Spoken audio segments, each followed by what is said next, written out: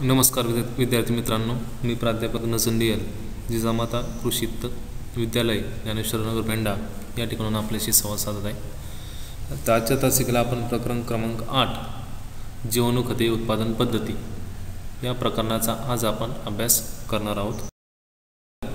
या प्रकरणामध्ये आपण जीवाणू खते जी आहेत ते जीवाणू मागील प्रकरणामध्ये आपण जीवाणू खते बघितली होती.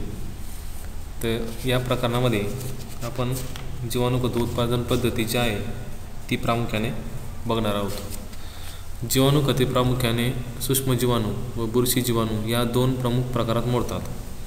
सूक्ष्म जीवाणू गटात रायझोबियम ॲझोटोबॅक्टर ॲझोस्पिरिलम ॲसिटोबॅक्टर स्फुरत व गंधक इत्यादी सूक्ष्म जीवाणूंचा समावेश होतो.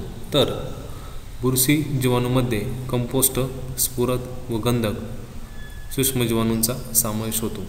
तर प्रामुख्याने जीवाणू खतांचे जे काही दोन गट पडतात जीवाणूंचे दोन गट पडतात तर ते दोन गट जे आहे त्यामध्ये एक सूक्ष्म जीवाणू गट आहे आणि दुसरा जो आहे तो बुरशी जीवाणू गट आहे. तर आज आपण गट आहेत त्यामध्ये प्रामुख्याने पहिला जो गट आहे सूक्ष्म जीवाणू त्याच्यामध्ये एक नंबर बघूयात रायझोबियम.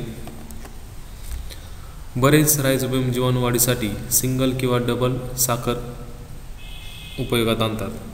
आता शब्दशा अर्थ घ्यायचा नाही इथं. शब्दशः अर्थ घेतला तर वाक्याची रचना जी आहे ती वेगळी होईल.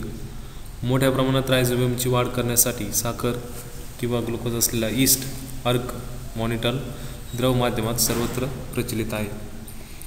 आता यामध्ये बघितलं तर प्रामुख्याने साखर हा शब्द वापरलेला आहे बघा.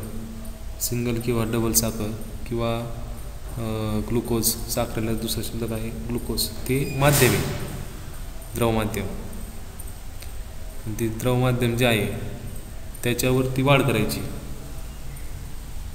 हे जे जीवाणू जे आहे जीवाणूंची त्याच्यावरती वाढ केली जाते. आणि हे ही जी संपूर्ण टेक्निक जी आहे ती लॅबोरेटरीमध्ये करतात. आपण घरगुती करू शकत नाही. लॅबोरेटरीमध्ये यंत्राच्या साह्याने त्या ठिकाणी क्लायमेट जे आहे हवामान ते मेंटेन केलं जातं. आणि त्याद्वारे ते रायझोम जेवणांची वाढ त्या ठिकाणी रायझोम जीवाणू खत अशा पद्धतीने असतं बघा सॉलिडमध्ये आणि लिक्विडमध्ये अशा पद्धतीने रायझोम जीवाणू खत दोन नंबर होऊया ॲझोलाचे उत्पादन. आता ॲझोला सगळ्यांनाच माहिती आहे भात शेतीसाठी ॲझोला प्रामुख्याने वापरला जातो. ॲझोला वाढणे वाढवण्या वाढवण्यासाठी निवडलेले शेत चिकलणी केलेले व समपातळीत असावे. बांध घालून वीस गुणले वीस मीटर आकाराचे वाफे तयार करावेत. शेजारी पाण्याचे पाठ ठेवावेत. वाफ्यात दहा सेंटीमीटर उंचीपर्यंत पाणी साठवून ठेवावे. प्रत्येक वाफ्यात दहा किलो जनावरांचे शेण वीस लिटर पाण्यात मिसळून सर्वत्र सारख्या प्रमाणात शिंपडावे व नंतर आठ किलो ॲझोला या वाफ्यात सोडावा. प्रत्येक वाफ्यात शंभर ग्रॅम सुपर फॉस्फेट तीन सुलभ हप्त्यात चार दिवसांच्या अंतराने टाकावे. पाण्यातील कीटकांचा प्रादुर्भाव टाळण्यासाठी शंभर ग्रॅम फ्युरोडॉन प्रति वाफ्यात ॲझोला टाकल्यानंतर सातव्या दिवशी फिस्कारून टाकावे. जर बघितलं तर मुख्य भात शेतात टाकण्यासाठी पंधरा दिवसांनी या वाफ्यातील तो ॲझोला काढून घ्यावा. एकावेळी प्रत्येक वाफ्यात ऐंशी ते शंभर किलो ॲझोला मिळतो. पुन्हा मूळ वाफ्याच्या वाफ्यात ॲझोला सुपरफॉस्फेट शेण व फ्युरोडॉन टाकावे. एक हेक्टर भात शेताला ॲझोला वापरण्यासाठी वरील आकाराचे चार वाफे आवश्यक आहेत. भात शेतात जनावरांचे शेण टाकल्या टाकल्यामुळे ॲझोलाची वाढ व नत्रस्त्रीकरण चांगल्या प्रकारे होते. हे कनयान हे कन या यान यांनी एकोणीसशे अठ्याहत्तर साली सिद्ध करून दाखवले. कनयान नावाचे शास्त्रज्ञ होते. त्यांनी ही पद्धत जी आहे ॲझोला उत्पादन कशा पद्धतीने करायचं हे त्यांनी सिद्ध करून दाखवलं. आता ॲझोलाची प्रामुख्याने जर बघितलं तर ही एक प्रोसेस आहे. त्या प्रक्रियेमध्ये किंवा प्रोसेसनुसार हे करायचं वाफे तयार करायचे. त्यानंतर जनावरांचे शेण घ्यायचे. वाफ्यात दहा सेंटीमीटर उंचीपर्यंत पाणी साठवून ठेवायचे. जनावरांचे शेण टाकायचे दहा किलो वीस लिटर पाण्यात मिसळून सारख्या प्रमाणात वाफ्यात टाकून द्यायचे. त्यानंतर आजूला सोडायचं आहे त्यानंतर प्रत्येक वाफ्यात शंभर ग्रॅम सुपर फॉस्फेट तीन सुलभ हप्त्यात चार दिवसाच्या अंतराने टाकायचं आहे आणि पाण्यातील कीटकांचा प्रादुर्भाव टाळण्यासाठी शंभर ग्रॅम फिरोरॉन पावडर जी असेल ती प्रति वाफ्यात टाकायची. आणि जवळपास पाहिलं तर एका वाफ्यातून ऐंशी ते शंभर किलो ॲझोला ॲजोला वाढतो आहे त्या वाफ्यामध्ये आणि तो आपल्याला मिळतो आहे ॲझोला जो आहे त्याच्यामध्ये नत्राचं प्रमाण जास्त असतं आणि नत्र स्थिरीकरणासाठी ॲझोलाचा वापर केला जातो.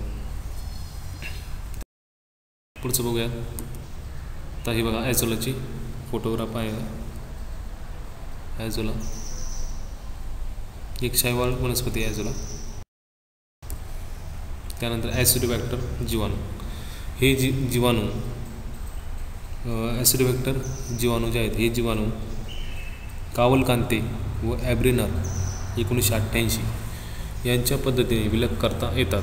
त्यासाठी विरल उसाचा रस अर्धघनमाध्यम एल जी आय पी अर्धघनमाध्यम अथवा ॲसिटिक आम्ल टाकून केलेले एल जी आय पी अर्धघन माध्यम वापरावे लागते. माध्यमात या जीवाणूंची वाढ झाल्यावर L G I P acetic acid माध्यम अगर किंवा घनमाध्यमावर रेकॉर्डे उडून हे शुद्ध जीवाणू शुद्ध स्वरूपात मिळवता येतात. म्हणजे ॲसिडोबॅक्टर जीवाणू जे आहे ते कशा पद्धतीने त्यांची निर्मिती कशी करायची ते याच्यामध्ये सांगितलेलं आहे. आणि का कावलकांती व ॲब्रेनर यांनी एकोणीसशे अठ्ठ्याऐंशी साली हा जो प्रयोग जो आहे तो सिद्ध करून दाखवला. आणि त्यातून त्यांनी ॲसिडोबॅक्टर जीवाणूंची निर्मिती करून दाखवली. आता ॲसिडोबॅक्टर जीवाणू होत बघा.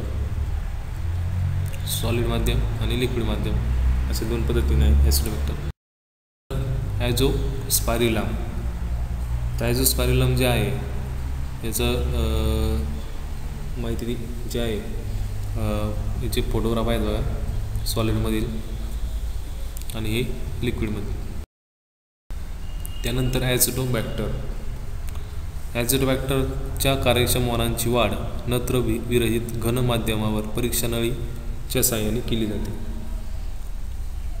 ठराविक दिवसांनी जुन्या माध्यमावरील वाढ नवीन माध्यमावर सोडली जाते. अशा प्रकारे हे जीवाणू खूप दिवस चांगले स्थितीत ठेवले जातात. म्हणजे परीक्षणाच्या सहाय्याने त्यानंतर लॅबोरेटरीमध्ये या जीवाणूंची वाढ त्या ठिकाणी करता येते. ॲझोटोबॅक्टर जीवाणू खत ॲझोटोबॅक्टरचं सॉलिड मिडियम आणि लिक्विड मिडियम गट आहेत त्यामध्ये प्रामुख्याने पहिला जो गट आहे म्हणजे सूक्ष्म जीवाणू त्याच्यामध्ये एक नंबर बघूयात रायझोबियम. बरेच रायझोबियम जीवाणू वाढीसाठी सिंगल किंवा डबल साखर उपयोगात आणतात. आता शब्दशः अर्थ घ्यायचा नाही इथं. शब्दशः अर्थ घेतला तर वाक्याची रचना जी आहे ती वेगळी होईल. मोठ्या प्रमाणात रायझोबियमची वाढ करण्यासाठी साखर किंवा ग्लुकोज असलेला ईस्ट अर्क मॉनिटर द्रव माध्यमात सर्वत्र प्रचलित आहे. आता यामध्ये जर बघितलं तर प्रामुख्याने साखर हा शब्द वापरलेला आहे बघा. सिंगल किंवा डबल साखर किंवा ग्लुकोज साखरेला दुसरा शब्द काय आहे? ग्लुकोज ते माध्यम. आहे द्रवमाध्यम ते द्रवमाध्यम जे आहे त्याच्यावरती वाढ करायची. अशा पद्धतीने निळ हिरवा शेवळा आहे बघा. पाण्यावरती याची वाढ होते. पान वनस्पती असताना म्हटलं आता जास्त दिवस जर पाणी साठलं एकच जागेवर तर त्याला तवंग येतो पाण्यावरती हिरवा. तर त्या तवंग म्हणजेच ते निळं हिरवं शेवाळ असतं. धन्यवाद.